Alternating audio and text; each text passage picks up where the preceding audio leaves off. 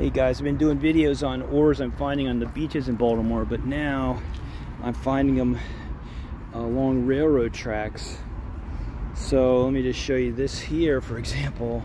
This is specular hematite, and it's literally six inches long. I mean, like that's that's an incredible piece. Like I'm finding other big pieces too of I say hematite, some people say hematite, but that's iron ore. I don't know how long it actually is, how far it goes into this ground. And then this piece is magnetite. So I'll show you. I've got a magnet. Just covered in my magnet is just covered in elect. Uh, so here's let me just see how it sticks. My magnet just sticks to this. So this is like another six inch, at least six. I can't get it out. It's so big. And then I just like I'm just like everything's sticking to my magnet. As you can see, like this this dirt. If I just put it in this in this dirt, stuff just sticks to it. So there's a piece of magnetite right there and then there's there's pieces smaller pieces of uh, specular hematite. So uh, sort of hit the jackpot here again. And I'm finding another mineral too that doesn't this oh, here's another piece of of iron ore that's sticking to the magnet. See how that's they're sticking? There's hematite another hematite. Yeah so it sort of hit the jackpot here Okay guys, and now to look at some of the things I took home from that site. Uh, first of all, uh, let's take a look at the specular hematite, or as I say hematite. So as you can see, they call it specular. There's, there's a reason they call it specular, because it, it's spectacle, it I guess speckles, or whatever you want to say it. So this is just a beautiful piece here. Uh, so I, I, I kept that one. And this one is super shiny specular hematite. And so I, I definitely kept that one. It looked like tin foil or something. And this is non-specular hematite. It's just uh, the reason I kept it. I liked this strip uh, going through here. It's that's a more finer grains. And uh, let's see here. Uh, my my camera's having a hard time uh, focusing there you see see the, there's a central stripe in there. And what's also interesting about this piece on the top and the bottom see those sparkles? Those are actually um,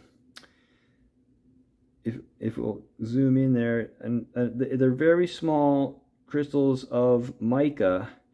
So which is strange because hematite is a sedimentary rock. These this is this is usually a sedimentary rock, and muscovite mica is usually associated with metamorphic rocks, that is, the rocks that have changed their form because of heat and pressure.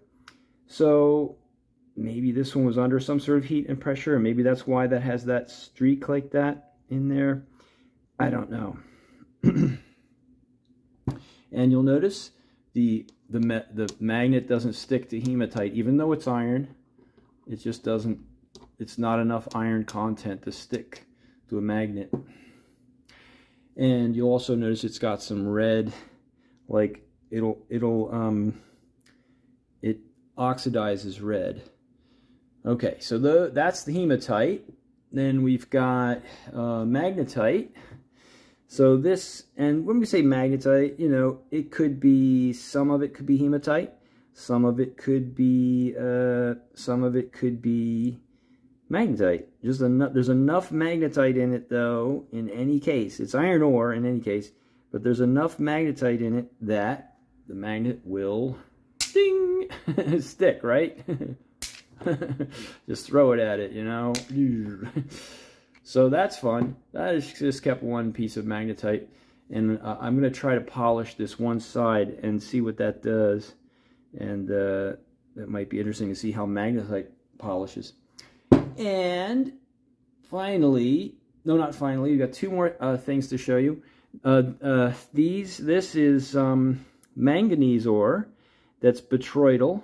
So you see this, these, it looks uh, like, um, well, what does it look like? It's a, botryoidal comes from looking like a bunch of grapes. So it kind of looks like a bunch of grapes, as it were. But these, this botryoidal, it, these are long tubes, longer tubes, and they're not just bubbles and it definitely has the metallic luster in it. If I can get that, you can see the metallic luster in it.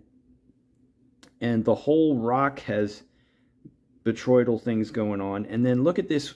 This is very interesting. I know a lot of my viewers think that I'm finding meteorites, and that looks like a lot like what you see on meteorites. But I think it's just part of how manganese forms. I'm not sure, but it's cool. It's like a almost a honeycomb kind of thing.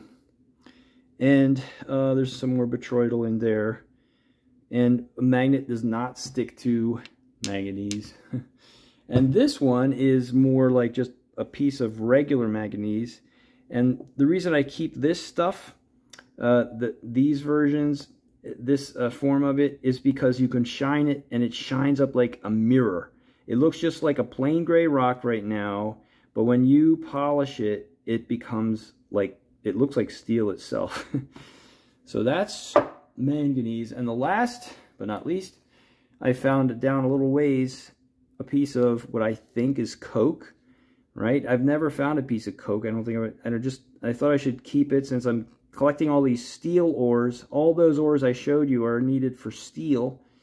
And so I, and, and I think this is coke, which is they take uh, co coal and uh, then somehow they process the coal and get it to be more efficient in, in, in burning.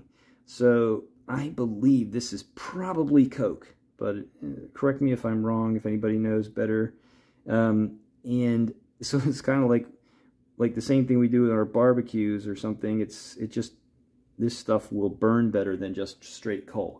Okay, so, and just as a bonus, I just wanted to show you, this is a 1943 S penny, uh, Lincoln penny. Remember, okay, so during 1943, what was happening? World War II. The S means this, this penny was made in San Francisco, and we switched for a couple of years to these um, steel pennies because we needed the copper that we usually use in pennies for casings for, uh, you know, bullets and bombs and whatever. And so that is a 1950, 1943 S um, United States of America penny. And I just thought, since I'm showing you all these steel ores, just this could have been made with some of these ores because we don't make ore anymore in Balt. I mean, we don't make steel anymore in Baltimore, but back then we did. So, um, hope that was interesting for you, and uh, I'll, I'll show you some more things as I discover more of these ores. It's a whole new vein, so to speak, of material for me to cover in this channel. So, until then, keep looking down.